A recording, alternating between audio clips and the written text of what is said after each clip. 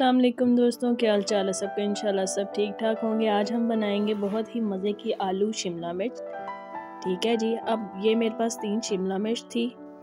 मैंने सबसे पहले ऑयल डाला, उसमें ये प्याज डाल दिया, एक मीडियम साइज़ का। अब इसको भूनने के लिए मैंने रख दिया है। ठीक है जी, ये क्विक बनेगी, बहुत ही आसान तरीके से और कम मसालों में। ठीक है जी, ये देखें। प्याज हमारे भुनकर पिंक हो चुके हैं। अब moving to the next step इसमें हम ऐड करेंगे हाफ़ टेबल स्पून के करीब अदरक का पेस्ट जो मैंने पेस्ट बना कर रखा हुआ था। इसको भी अच्छी तरीके से भून लेंगे।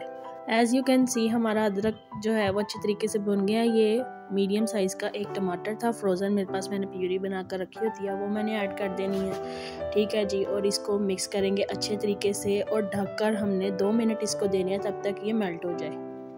द अदर हैंड आप देख सकते हैं, मैंने आलूओं को छील लिया, ये मेरे पास सात छः से सात आलू हैं, ठीक है जी दरमियाने साइज़ के इनको मैंने अच्छे तरीके से पानी में धोकर इनको छील लिया, अब मैं इनको छोटे छोटे पीसीस में काट लूँगी। ये देखें जी, प्याज, टमाटर और अदरक बिल्कुल यकजान हो गए हैं, अब हम इसमें मसाले ऐड करेंगे, नमक, सुरख मिर्च और हल्दी, नमक हाफ़ टी स्पून मिर्च हाफ़ टी स्पून और हल्दी वन टीस्पून ठीक है, अब इसको पानी डाल के थोड़ा सा अच्छे तरीके से मिक्स कर लें और ये देखें जी, मैंने आलूओं को भी काट लिया ये छोटे छोटे पीसीज में आपने इनको काटना है, ठीक है, ताकि ये जल्दी गल जाए। अब हम इसको ऐड कर देंगे अपने मसाले में, जो हमने भुना हुआ है। ये देखें जी, माशाल्लाह। आलूओं को डालने के बाद आपने अच्छे तरीके से चम्मच हिलाते हुए इसको मिक्स करना है, ताकि मसाला जो सब आलूओं पर लग जाए। फिर आपने आलू को इस तरह मिक्स कर कर ढक कर पाँच मिनट के लिए रख देना ताकि ऑयल अलहदा हो जाए।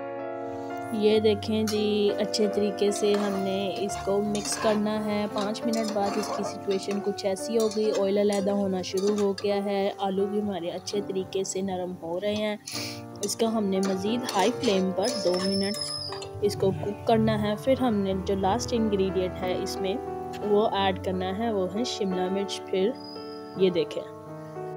हमारे आलू हमारे अच्छे तरीके से मिक्स हो गए थे हमने नरम कर लिया आलू काफ़ी हद तक। अब हमने शिमला मिर्च ऐड कर देनी है। शिमला मिर्च ऐड करके हमने अच्छे तरीके से इसको मिक्स करना है और फिर इसको ढककर पाँच मिनट के लिए रख देना है। एज़ यू कैन सी कि ये हमारी कितनी मज़े की शिमला मिर्च तैयार होगी अभी भी हल्की सी शिमला मिर्च में कसर है वो भी हम दो मिनट और ढककर पका लेंगे। फिर मैं फाइनल लुक आपके सामने पेश करूँगी। ये देखें माशाल्लाह। तो ये देखें जी, आलू शिमला हमारी झटपट तैयार होगी ना इसमें मसाले जाएँगे ज़्यादा। कुछ भी नहीं, आपको डालना सिर्फ़ नमक, मिर्च और हल्दी डालनी है, ठीक है? ये थी आज की हमारी रेसिपी।